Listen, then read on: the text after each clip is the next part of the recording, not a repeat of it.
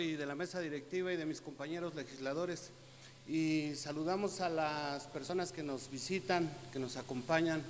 Creo que este es un tema bastante importante y bastante delicado que lleva mucho tiempo.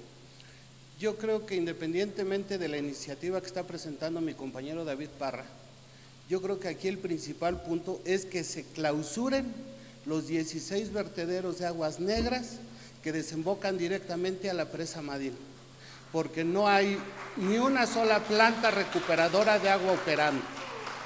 Y eso es impresionante, que con dinero les han permitido conectarse directamente los drenajes a la presa Madín y por eso se llena de lirio acuático, se han muerto todos los peces y esa agua baja contaminada a la planta que surte a fuentes de satélite, a Tzapán, a Calacuaya, a muchos lugares y creo que sí es importante que desde aquí hagamos un exhorto a las autoridades correspondientes del medio ambiente, de desarrollo urbano, que esos vertederos de drenaje sean clausurados inmediatamente.